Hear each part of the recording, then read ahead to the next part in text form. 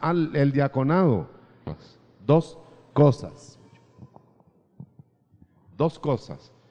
Primero, que haya, eh, que los ángeles del Señor, usted sabe que, que los ángeles están para cuidar los cuerpos de los salvos, acampen en derredor de todos nosotros, ¿verdad? Todos los... Podemos, no, no podemos ordenar ángeles, pero podemos pedir que el Señor mande sus ángeles para cuidar. Y vamos a tomar autoridad también contra todo, todo lo que se cierne al cuerpo del Señor en estos últimos días. Doctrinas heréticas, hasta en automóvil andan ahí con un, denostando la Biblia abiertamente. Hay un rótulo ahí que dice, la, estafa, la Biblia es una estafa. Así que tenga cuidado, hermano. Solo, ya ve los carros dañados y, hay, hay, acechanza. Vamos a tomar autoridad, vamos a levantar la mano. Vamos a atar toda, toda esa avalancha. En el nombre de Jesús, Padre, pedimos que tus ángeles acampen, que haya protección alrededor de tus hijos, que la sangre de Cristo nos cubre. En el nombre de Jesús, en el nombre de Jesús, por todas las necesidades, Señor, enfermos, todos en el nombre de Cristo. Aleluya. En el nombre de Jesús. Amén. Y amén. Gloria a Dios. No tenemos un versículo específico, así que puede sentarse. Pero vamos a, incursionar en las dos familias. Si usted quiere ponerle título al cassette o a lo que va a captar, vamos a hablar de las dos familias dos familias. Se habla mucho de la venida del Señor, por supuesto, se anuncia bastante por la misma Biblia, eh, pero no tenemos a veces la, la captación de los detalles. Y entonces en el, en el libro del, del Éxodo, usted sabe que va a haber otro Éxodo más grande. El primer Éxodo, bueno, hubo Éxodos de mil maneras, pero el Éxodo,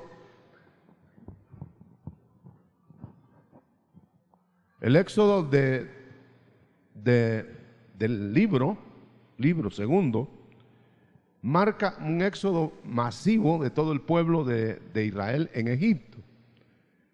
También el cuerpo de Cristo, el cuerpo del Señor, tuvo un éxodo cuando nació en Belén. Y el éxodo fue pero ese fue hacia Egipto. Como que el cuerpo del Señor se fue primero a Egipto, cuando estaba chico, que lo perseguía Herodes. Se fue a Egipto. Luego salió de Egipto, regresó a Canaán. Eso es otro éxodo.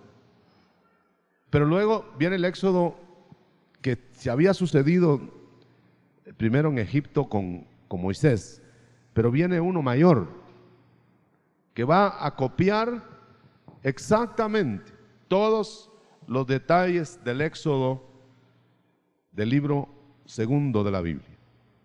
Solo que adaptado a, los tipos espirituales ya. Vamos a ver eso. Entonces, en lo que vamos a marcar ahora y en la noche, porque no nos daría tiempo, no nos daría tiempo a ver las dos, las dos familias vamos a ver una familia.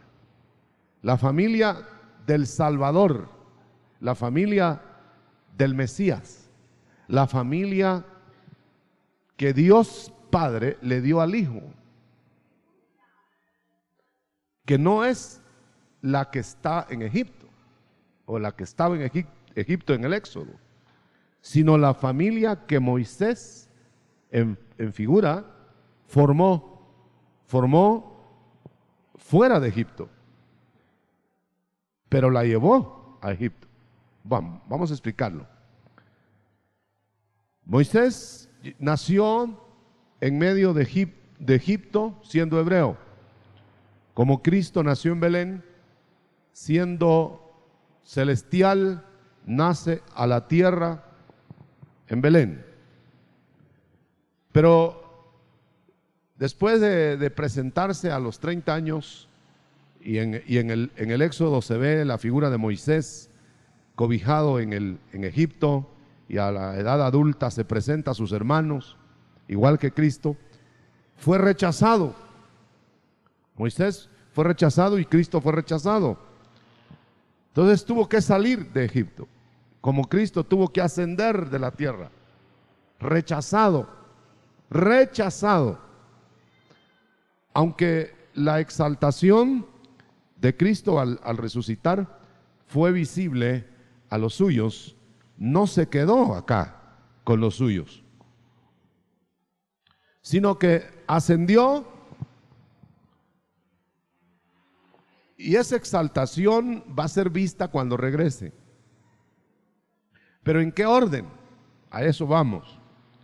Según el Éxodo, capítulos respectivos, pero vamos a ver aquí el capítulo 3 y aún antes, en el final, vamos a escoger aquí algunos versos, porque ya crecido el Señor a los 30 años empezó a desenvolver su ministerio, aunque rechazado, dijimos ya, y ascendido. Bueno, ya ascendió, ya se fue de la tierra, como Moisés se fue de Egipto, rechazado por sus hermanos y rechazado por los egipcios. O sea que no tuvo pueblo, Moisés. Como Cristo al ascender, no tuvo pueblo. Se le negaron los gentiles, se le negaron los, los judíos.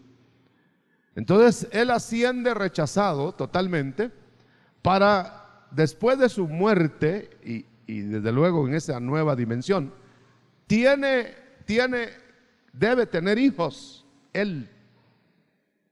Usted sabe que se fue sin tener hijos naturales. Entonces, al no tener simiente y ascender, Isaías predijo, el Mesías va a morir y verá linaje, verá simiente después de morir. Por eso estamos hablando de la familia que Dios le dio como, como una dote, como un regalo después de morir, después de morir. Muy bien. Entonces ahora aquí se cumpliría aquello de, estoy mezclando Moisés, Cristo, porque es la misma la figura y la adaptación. Ojalá que lo pueda yo explicar adecuadamente. Y entonces tenemos nosotros que en su, eh, en su ascensión, Cristo, según el mundo quedó humillado, huyó, se fue. Según el mundo egipcio, Moisés quedó humillado, se fue huyendo. Pero en su desaparición de Egipto, Moisés, y en su desaparición visible del mundo de, de Jesús, de Cristo, le prepararon al Señor un pueblo. Amén. Y por cierto, lo iban a sacar de la tierra, no, del, no allá arriba en el cielo, como la familia que Moisés adquirió. Era terrenal nacido, eran nacidos de mujer, de hombre y mujer. La familia de, Moisés eran hijos, hijos, era hija, la esposa, de en la tierra de Madián, del sacerdote de Madián, Jetro. Bueno, entonces esa familia que le dan a Moisés, fíjese bien, no es la familia de Dios que estaba prisionera en Egipto. Era otra familia. Ojalá que dígame si usted está, estoy llegando. No, nota eso. Dígame, hermano, si usted entendió eso. Le dan una familia nueva a Moisés. No la familia de sus hermanos que están en Egipto. Esa es otra familia. Es la familia, diríamos, de Dios, los hebreos. Pero esta nueva familia sale de la gentilidad. Ahora es la formación de un nuevo pueblo que va a acompañar a Moisés, hablemos de los dos, que va a acompañar a Cristo en su venida a liberar a, las, a la otra simiente de Dios que está prisionera. Aplauda si usted, si usted captó eso. No mucho. Bueno. Entonces, ahora vamos a ver qué son los pasos para entender lo que viene inmediato, ahora, ahora del final del tiempo. Para que entendamos eso, entendamos el primer éxodo, este éxodo. Va a recibir el Señor de repente, como Moisés recibió la orden, Moisés, vas a volver otra vez a, a aquella tierra donde está aprisionado mi pueblo. Muy bien, Señor, heme aquí, ¿cómo voy a volver? Bueno, vas a volver, como ya naciste allá, había nacido en, en Egipto Moisés, Cristo había nacido en Belén. Como ya naciste allá, pero ahora tienes un cuerpo que yo te glorifico, que yo, que yo exalto, entonces vas a regresar a ellos con, con el volumen de que te van a ver como que eres todavía de la tierra. Por eso Moisés regresó como que era un hebreo que regresaba a la tierra otra vez. Pero él ya estaba en otra dimensión porque llevaba una vara tremenda de poder. Por eso el Señor, para bajar la, primera presentación que va a hacer ahora que regresa a su tierra o a la tierra, se va a presentar como se fue al ascender. No glorioso sí glorioso en el sentido de que ya no vería muerte, todo lo demás, y con todo poder, pero su aspecto sería así como lo vieron subir. Pero ¿cuántos lo vieron subir así? 500, más de 500. Es decir, no el mundo. El mundo no lo vio subir. Si por eso el mundo dice, a menos que le revele, ¿no? Dice, bueno, es eh, eh, el, que crucificaron ahí, lo llevaron a la tumba y ahí, ahí deben estar sus, sus, huesos, o si no están ahí, los han de haber llevado a otro lado. Y, debe estar, porque no, no, no pasó más. Lo enterraron y ahí terminó. Por eso cuando Pablo predicaba que había resucitado, decía, no, no, no, tú estás hablando de un difunto Jesús. Nota eso, hermano. Entonces, es un privilegio especial que Él se manifieste a nosotros y no al mundo. Palmas, palmas para el Señor.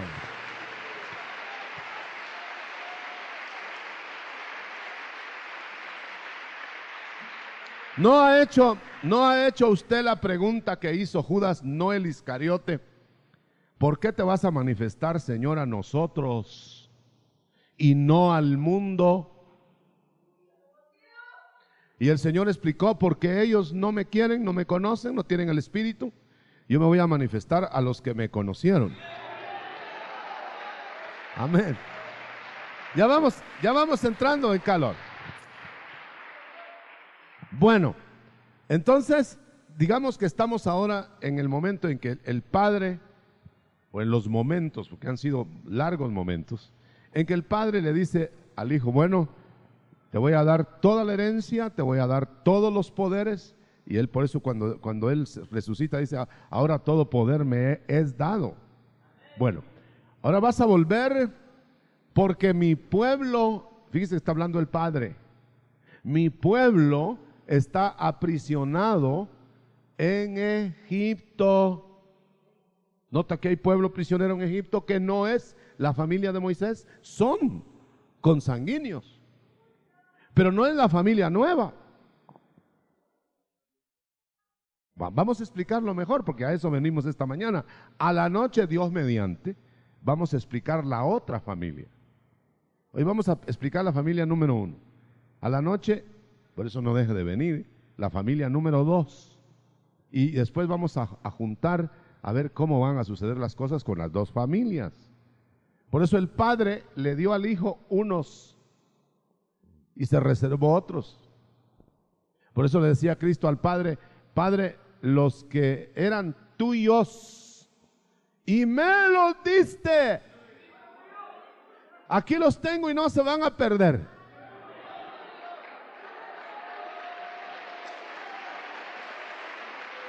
Aleluya.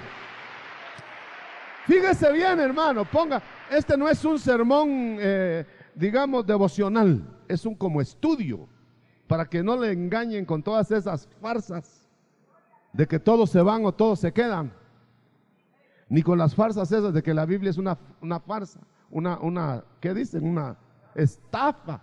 Los estafadores son ellos. Pero para nosotros no es una estafa, la Biblia es la palabra de Dios. Gloria a Él. No se va a dejar sorprender. Bueno, muy bien. Entonces, ahora, ¿qué va a pasar? Si no tenemos que imaginarlo, hermano. Lo dejaron todo ahí tabulado. Porque todo esto del Génesis, no digamos del Éxodo, Génesis en adelante, hasta que finalizó el Antiguo Testamento, todo fue escrito para los que nos iban a alcanzar los finales de los siglos, que somos nosotros. Entonces estamos aprendiendo del Éxodo lo que va a pasar en el, en el Éxodo más grande. Bueno, ya le dan el poder, ya está Moisés allá, pero, pero antes de darle el poder para ir a liberar al, a la otra, al resto de la simiente de Dios, porque la que le dieron a, la que le dieron a Moisés y a Cristo es la primera parte de la simiente de Dios, pero que se la dieron al Hijo. La otra es la simiente, el resto de la simiente de Dios, que está prisionero en Egipto. Muy bien. Ahora bien, vamos adelante si ya se fijó esto. Entonces ahora, ahora si Cristo, y estoy hablando de los dos juntos, hermano, como que el uno fuera la figura el otro el cumplimiento. Entonces, para que Moisés bajara a Egipto, le prepararon plenamente su familia. Siete candidatas. Qué casualidad, ¿verdad? Siete mujeres aspirantes a ser la esposa del Moisés que iba a ir a Egipto a liberar. O sea que se está preparando a la esposa para que le acompañe, no para que vaya a la tribulación o en la tribulación, sino que le acompañe como esposa. O sea que tiene que haber entonces, antes de llegar a Egipto, tiene que haber, antes de que el Señor regrese, tiene que haber un matrimonio.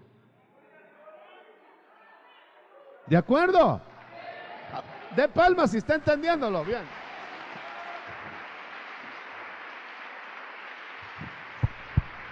Bueno, nota, nota usted que para que el Mesías descienda en su venida, no en su parucía, en su venida a reinar, liberando al, al resto de la simiente, tiene que estar casado. Pero, ah, aquí está, pero tiene dos hijos, Moisés. Y esos dos hijos, el uno es como que dijéramos el, el, el ideal, el hijo bien portado, el hijo que cumplió, pero ni tanto porque tuvo el Señor que hacer algo de última hora. Yo lo voy a explicar. Gerson.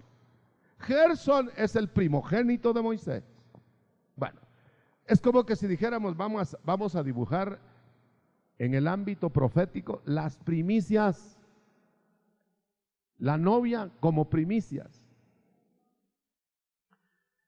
Gerson quiere decir forastero extraño, extranjero en la tierra. Entonces va a haber una simiente que va a ser solo visitadora, pasajera aquí, pero que no es de la tierra. ¿Ya la identificó? Esa es la parte que se va en el arrebatamiento. Para estar en la familia de el Salvador Hijo, no del Salvador Padre. Ahora bien, sin embargo, no se la van, no le van a dar por aceptado al hijo, sino hasta que esté circuncidado. para ir a Egipto tenía que circuncidar a su primogénito. Eso quiere decir que tiene que haber una consagración de los que van a ser primogénitos, quitando la carne, para poder acompañar en la familia de, de Moisés la visitación al mundo. Óigalo bien. Entonces quiere decir que esa, esa familia representada en, en Séfora y Gerson tiene que sufrir una operación previa. Y fue la que sufrió en la posada. Moisés ya iba a liberar a los de, a los de Israel. Y le dijo Dios, para, porque no está bien tu familia. ¿Y por qué no está bien? Porque tu primogénito no ha sido circuncidado. O sea, la iglesia no está, la iglesia novia, no está santificada ni consagrada. Entonces, o se consagra o no va. Eso es lo que le dicen a Moisés en la posada. Si usted lo quiere ver por su cuenta, no ahora, eh, en el capítulo, vamos a ver dónde está, en el capítulo 2. Vamos a ver, vamos a buscarlo acá, en la posada. 4. Gracias, hermano. Sí, desde el 24 en adelante, del 4, está el acontecimiento de la posada. Ah, es en el camino de descender Moisés a Egipto para liberar. Entonces tiene que suceder, hermano, en este espacio, no cuando empiece la tribulación, porque la tribulación empieza cuando, em, cuando la ira de Dios se descarga contra Egipto y los que estén ahí, que no les tocaría, pero como están ahí en, Egipto y no han salido, ahí les va a caer. Por lo menos las tres primeras plagas les caen a los que están en Egipto. Pero sigamos con Moisés. Bueno, ya una vez parece que la esposa, mire, la iglesia no consagrada, tiene que ceder a última hora en consagrarse, porque si no se muere, se queda viuda. ¿Qué le dijeron del 4 en adelante, el 4.24 del Éxodo, lo lee después, ¿qué le dijeron a Moisés y a Séfora? O, o, se arreglan ustedes o mato a Moisés.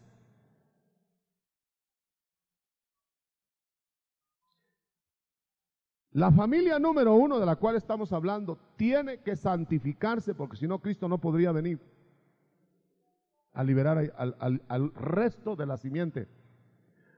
Pero la, la, esa nueva familia en Séfora, ah, qué, glorioso, no le va a fallar como le falló Eva a, Adán.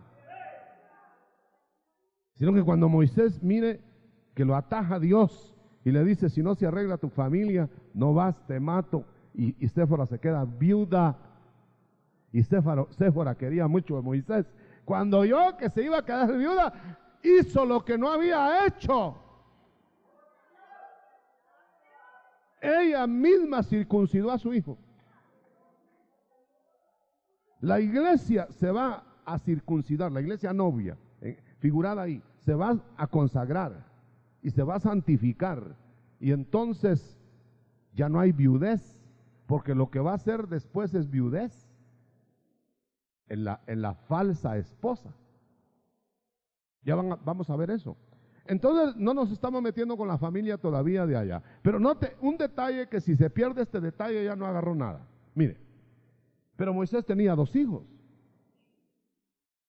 Uno, el que ya fue circuncidado, primogénito, es forastero. Nada más va a ir a la tierra como forastero, acompañando a su padre, al, esposo, en este caso de Séfora, eh, la familia nueva. Ahora note, pero hay otro hijo que como que nace en Egipto o para Egipto, pero es hijo de Moisés, Eleazar. Ahora Eleazar, y qué, qué maravilloso que los nombres significan lo que va a suceder, es el que tiene que escapar bajo la espada de Faraón. ¿Oyó eso? Ay, hermano, entonces quiere decir que hay parte de la familia del Salvador, hijo, que por negligencia, qué sé yo, no va a ser de los forasteros que se van con el, con el amado, sino de los que van a estar protegidos, sí, pero escapando en medio de la espada de Faraón. Va a haber pueblo del Hijo, junto con el pueblo esclavizado en Egipto y que van a escapar bajo la espada de Faraón. Nota que ya son tres elementos. El que escapó porque es forastero es peregrino aquí. El que se fue allá para escapar allá y los que están allá y van a escapar allá. allá. Tres. ¿Cómo los identificamos ahora en los tiempos modernos? Identifiquémoslos, hermanos, aunque nos detengamos unos minutos. Sigue, sigue el curso. Las primicias están siendo preparadas, los gersonitas están siendo preparados ya. ¿Para qué? Para santificar, primero consagrarse y luego santificarse. Y luego acompañar a Jesús para venir sobre la tierra. Oiga bien eso.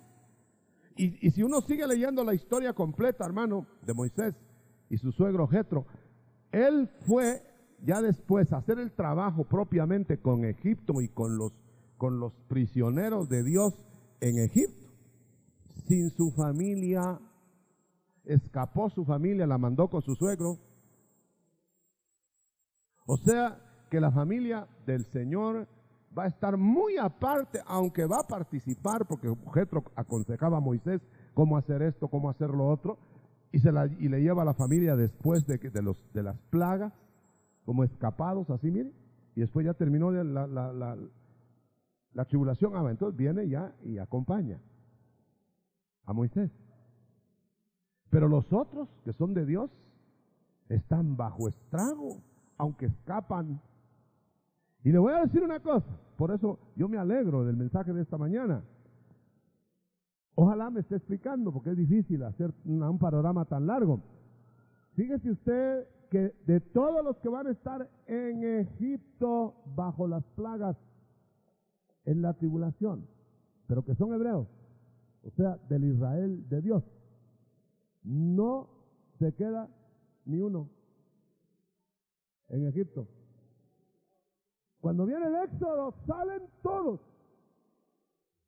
Y aguantaron, no esos carritos con, con, rótulos contra la Biblia, aguantaron a los magos tremendos de Egipto, aguantaron a los Janes y Jambres, aguantaron los espadazos de Faraón, aguantaron los trabajos forzados de Faraón, y ni uno, pero ni la mitad de uno, se quedó en Egipto. Un aplauso. Él va a salvar. Aleluya. Note lo que voy a aseverar ahora. Él va a salvar a todos los que marcó como de Él. Amén. Solo que uno lo salva de la tribulación. Y, a los otros los salva en la tribulación. Ahí está claro. Ahora, para que el Señor regrese, hay unos detalles muy lindos. El Señor me los estaba dando ayer leyendo a profundidad el Éxodo. Mire, ¿a quién él llegó? Bueno, Moisés se va ya después de arreglar su, arreglada su familia y ha casado, se va a Egipto. Entonces el Señor aparece al mundo en juicios, porque el mundo no lo ve como Egipto. Egipto no vio a Moisés. Lo vio Faraón. Pero Moisés estaba operando desde lugar seguro, ¿no? Y plagas y plagas y tenía que mandarlo a traer Faraón. Pero el pueblo no se daba cuenta. No andaba por las calles Moisés arengando a la gente que se arrepintiera de Egipto. No, no, no, no, no se metió con ellos. Mire en el orden que se metió. Óigalo bien. Ese es inamovible. Le dice, primero, Cristo o Moisés, ¿verdad? Primero sube a mi monte.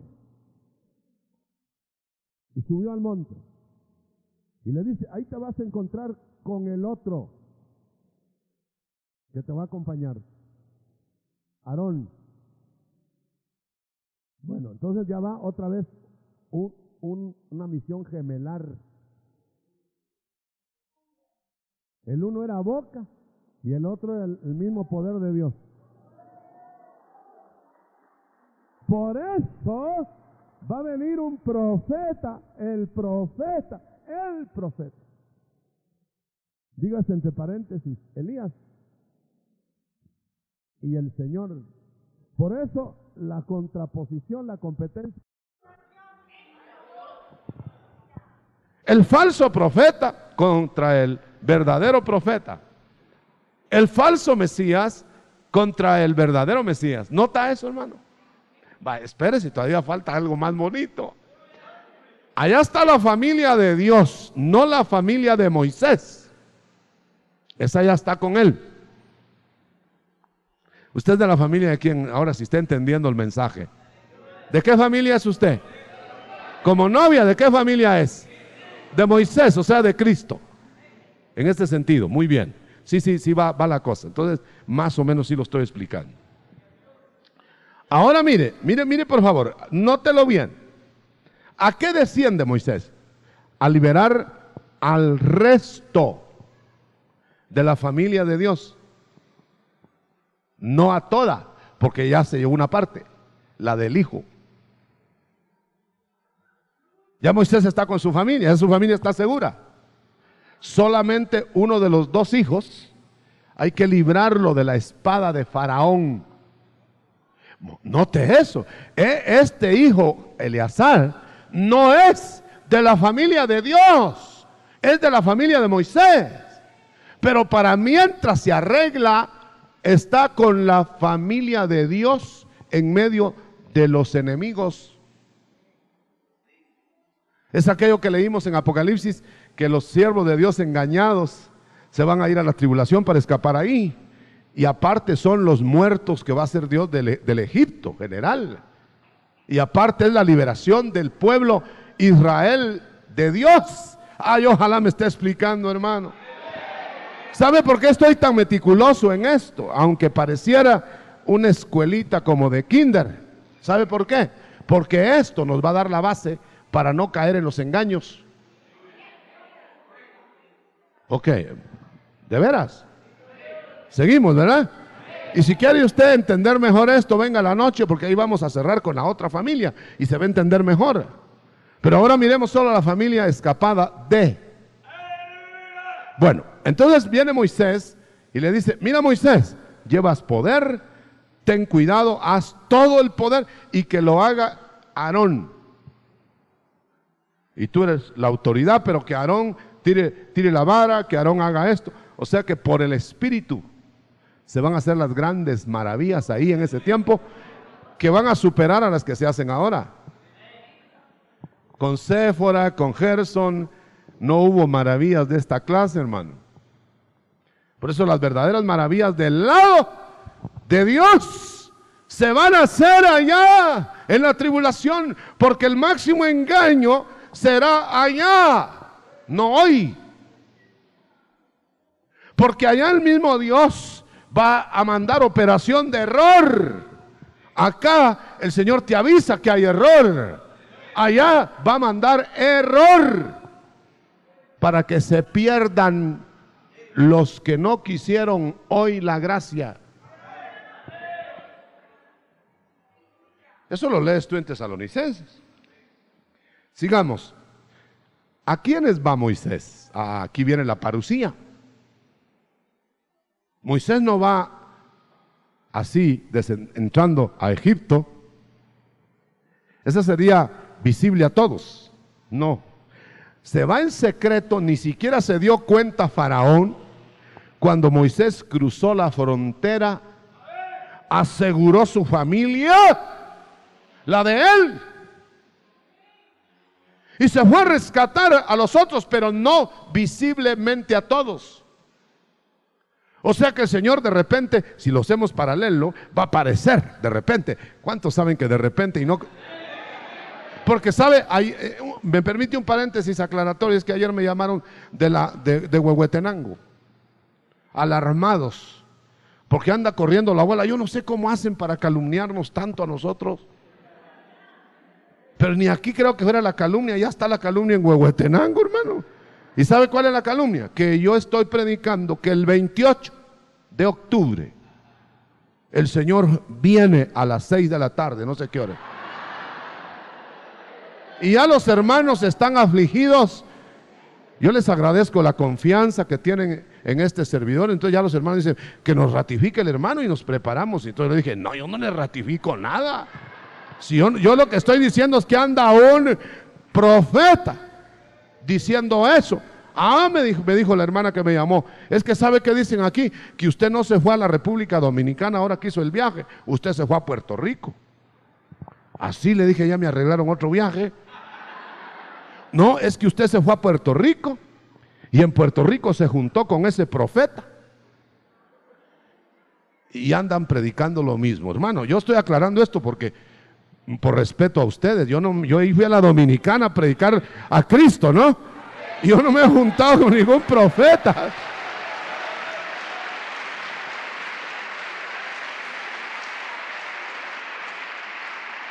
Además, Precisamente lo que fui a hacer a la dominicana, como lo estoy haciendo con ustedes, es diciéndoles que vamos a estar aquí después del 28 de octubre. Amén. ¿Por qué? ¿Por qué? Bueno, puede ser que si viene antes, pues antes.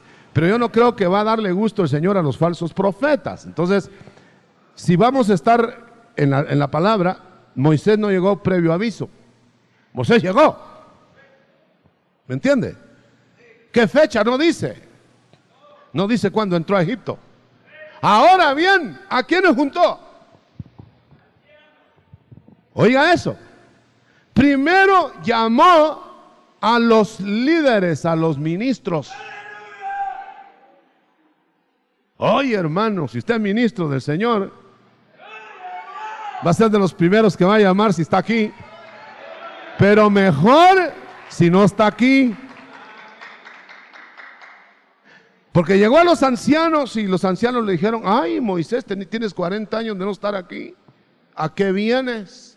Ya te salieron canas por todos lados. Y Moisés le dice, entonces no creen que yo vengo. Bueno, te, son 40 años de estar aquí recibiendo palo.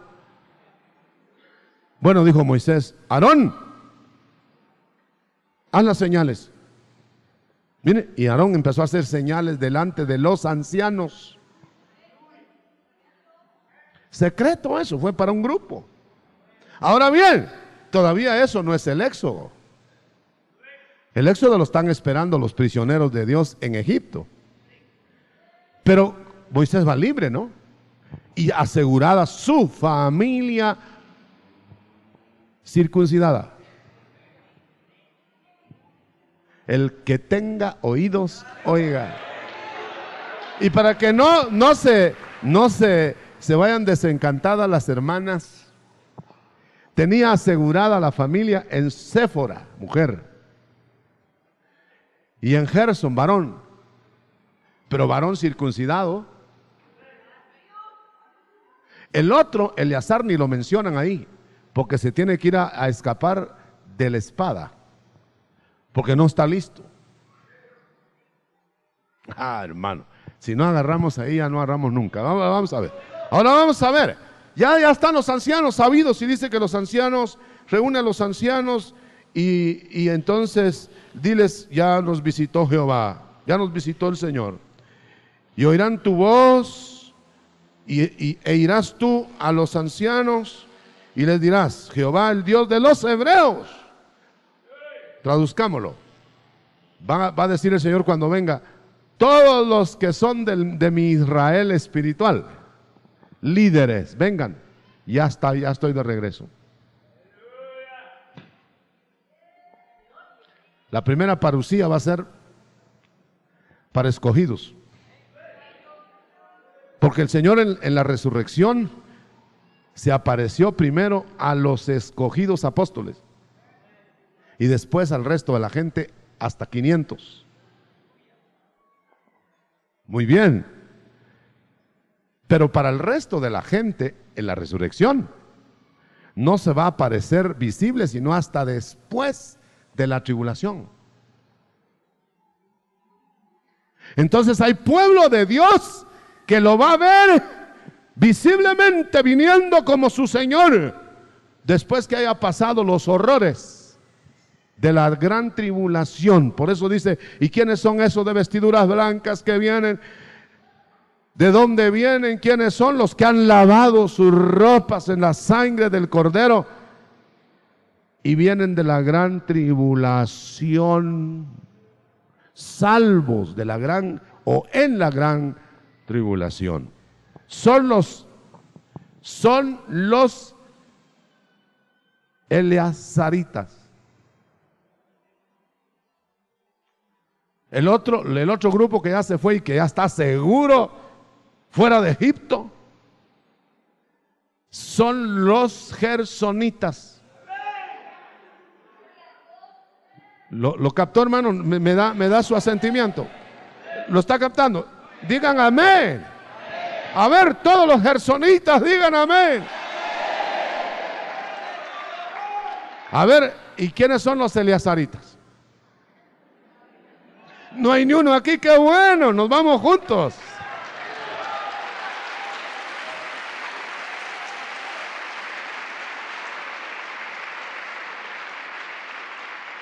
Después que, que los ancianos creyeron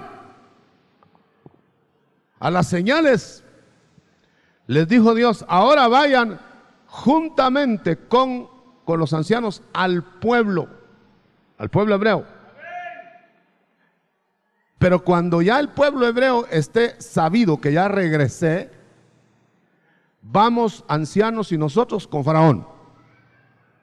Por eso el Señor marca 144 mil para la tribulación, en la tribulación.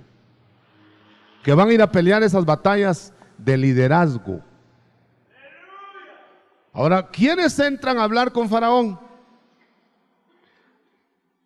Vamos a ver, eh, busquémoslo acá.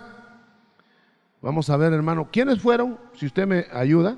Yo lo quisiera, lo quisiera ver en la, en la escritura, pero, pero, lo podría anunciar, decir nada más así. Llegó a Faraón y una vez que estaba delante de Faraón, le dijo, bueno, venimos en nombre del Señor. Cinco, sí. Estamos acá ya y mira, tú tienes que liberar al pueblo. Oiga, no liberar a la familia de Moisés. Estaba libre ya. Ahora vas a liberar, digamos, lo voy a parafrasear. Vas a liberar a los que tienes prisioneros que son hebreos, no egipcios. Y desde luego vas a liberar a mi hijo Eleazar, que está ahí. Bueno, cuando sea, librado, hermano, yo esto es más que todo para cristianos, esto, este, este estudio. Yo entiendo que si alguien vino que no conoce al Señor y que generalmente evangelizamos aquí en las mañanas, ahora se va a ir como diciendo, no entendí nada. Con el perdón de él. Pero a la noche va a entender si viene. ¿Sabe? Porque viene la otra, el otro pedazo de la historia. Ahora estamos hablando casi en otro idioma, ¿no? Pero para el cristiano es el idioma que entiende. O que debe entender. Muy bien. Entonces usted sabe que cuando venga el enfrentamiento con Faraón, no se está peleando la familia del hijo, sino los rezagados. O sea, los gersonitas y la familia de Jehová que está ahí en Egipto. Ahora, cuando viene la tribulación, que son las plagas, hay tres plagas que les caen a todos. Por eso hay pueblo de Dios que por rezagarse va a alcanzar plagas que no le tocarían, porque no le cayeron a Gerson. Pero caen tres. Y después quedan siete. Y las otras siete solo son para los egipcios. Lo puede usted estudiar. Eso quiere decir que el principio de los dolores, de las plagas, les van a caer a los hijos eleazaritas de Moisés. Aunque van a escapar porque las otras siete ya no les van a tocar. Había en las otras siete plagas, había luz en la casa de los hebreos, no había luz ni de linde en la casa de los egipcios. Había mortandad de ganado, pero no, en las, eh, no de los hebreos. Mire qué cosa, hermano. Para que se eche de ver la diferencia, dice, entre el que es mío y el que no es mío, dice el Señor.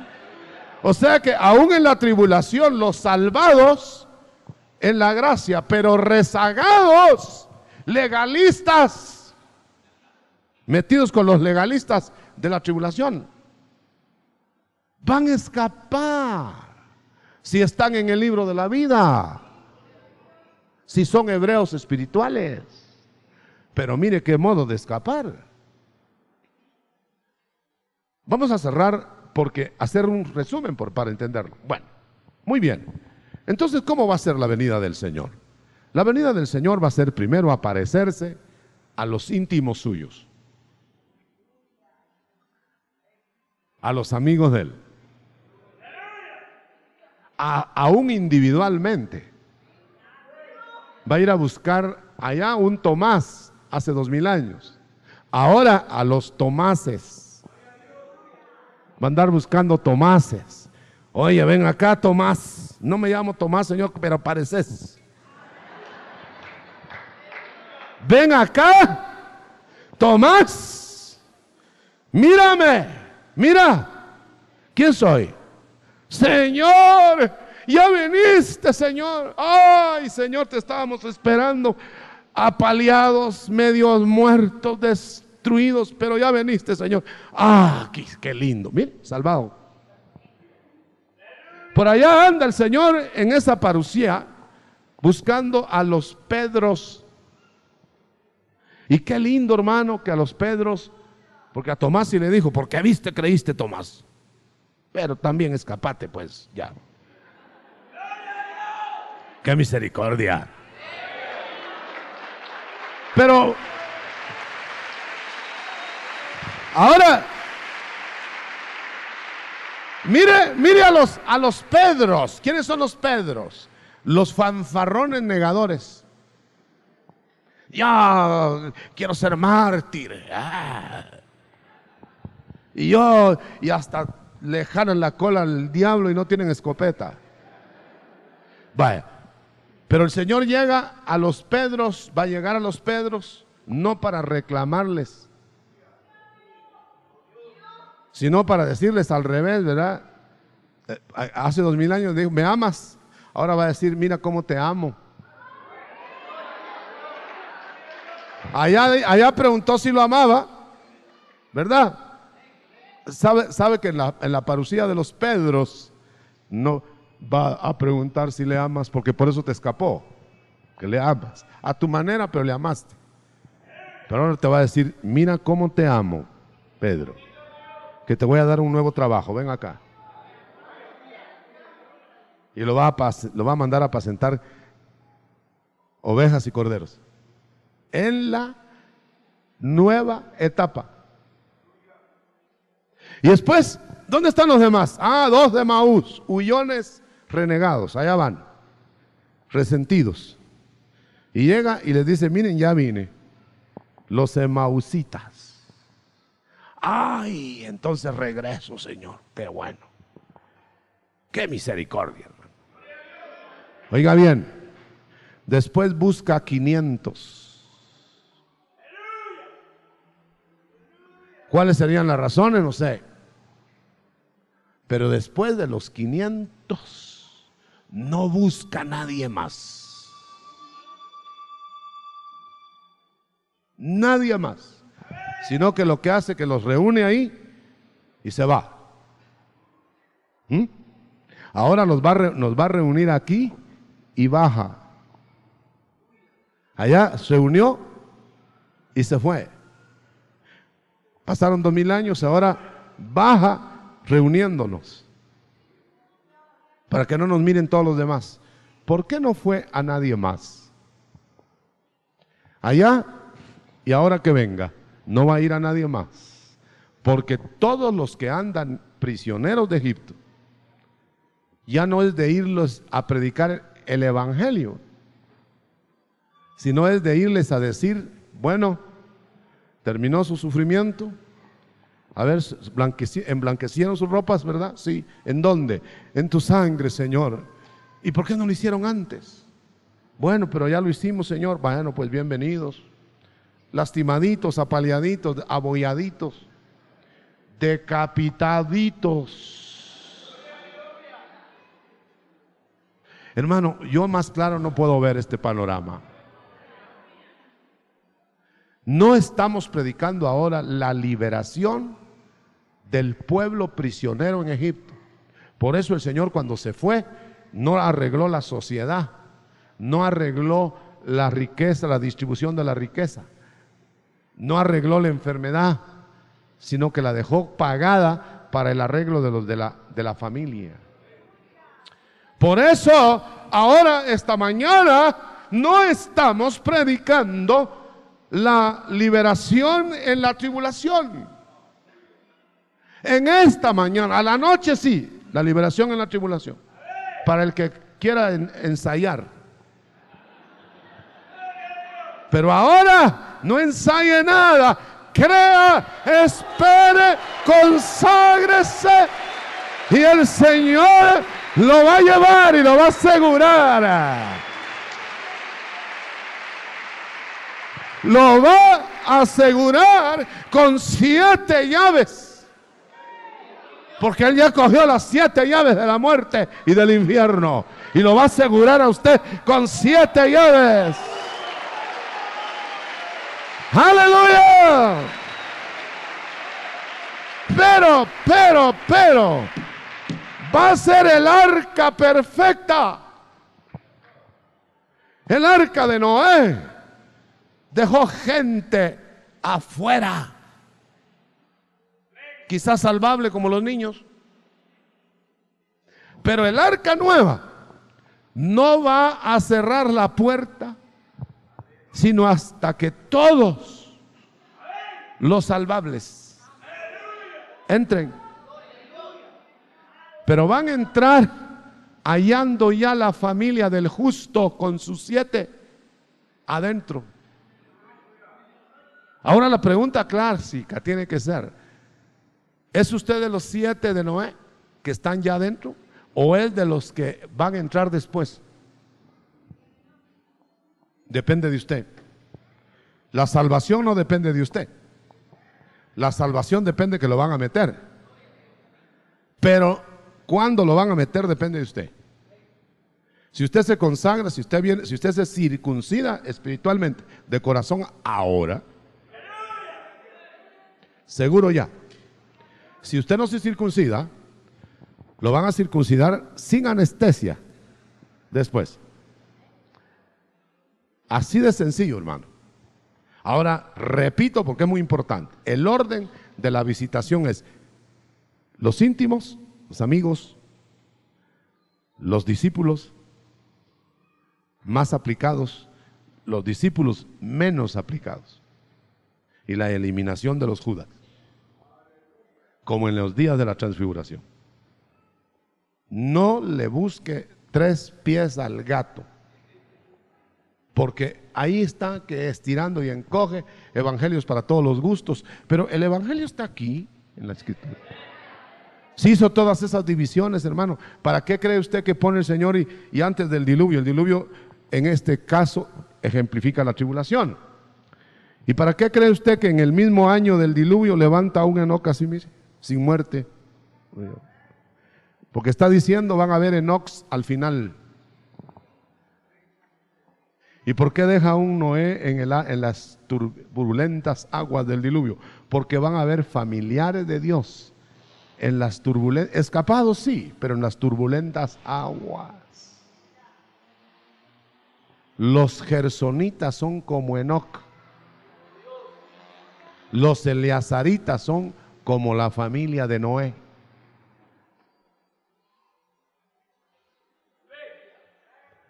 Si hay aquí, esta mañana,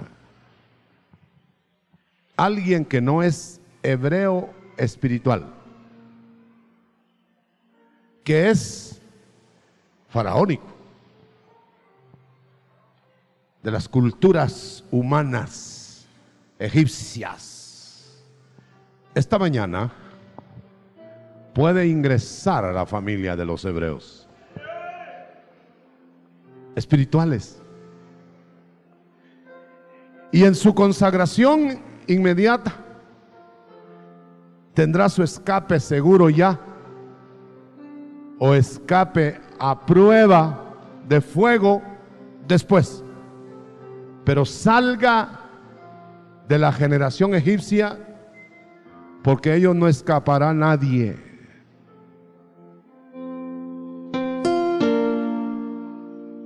Ahora nos parecemos todos, a lo menos en la ropa.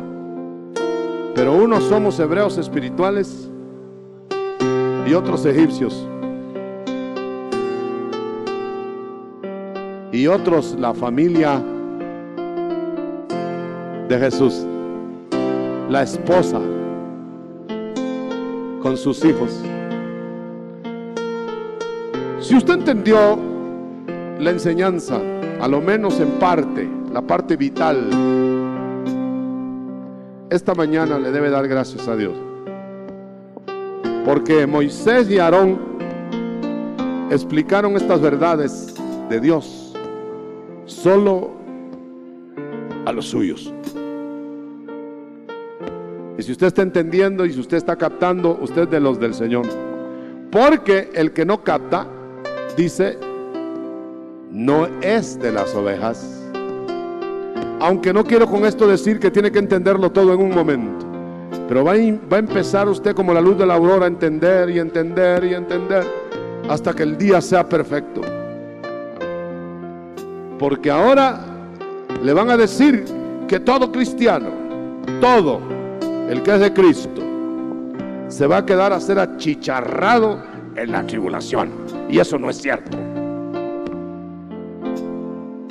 Pero tampoco es cierto que todos los que son de Cristo no van a haber tribulación. Va a haber pueblo, como acabamos de explicar, que va a haber tribulación. Y pueblo que va a escapar por haberse circuncidado plenamente su corazón. Y punto, hermano. Otra explicación yo no la tengo. Quizá la tenga alguien. A mí no me importa. Lo único que a mí me importa es cumplir con la tarea que me dieron para venir acá a la tierra con estas verdades bíblicas irreversibles. Así con su atención más que con, que con sus manos. Pero levanta si, si quiere sus manos. Examínese, hermano, si usted tiene certidumbre de estar en la familia de su Moisés.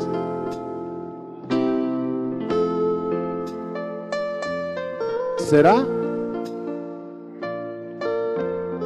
¿No estará en la familia a probar y a sufrir de la tribulación por no aceptar la plenitud hoy de Dios. Porque no creo que va usted a, reprobar el examen de que va a resultar que es egipcio.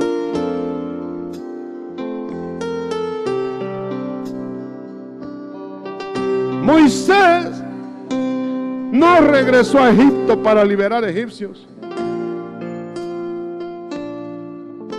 Grábeselo.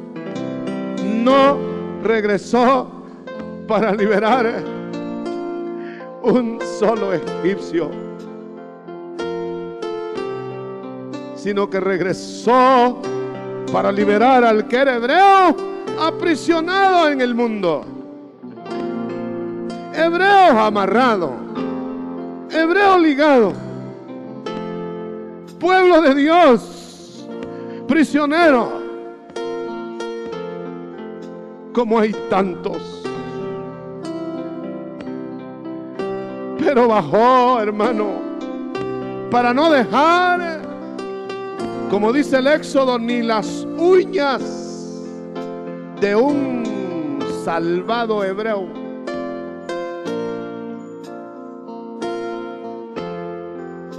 Y grábese esta verdad.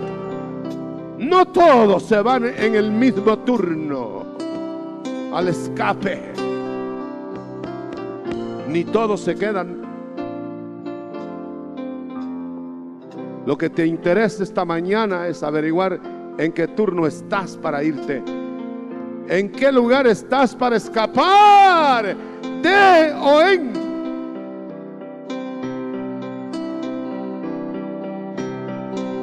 Hermano, este es un momento más de reflexión que de otra cosa. Pero si alguien quiere venir y salir de la familia egipcia, de la generación actual, y venir a, representarse aquí o a presentarse aquí ante el Señor, Señor, yo quiero ser de tu familia y quiero conocer más para escapar antes de esos juicios que vienen, venga. Y los demás del pueblo de Dios que creo haber haberles llevado una buena nueva esta mañana, afirmes, afirme su fe.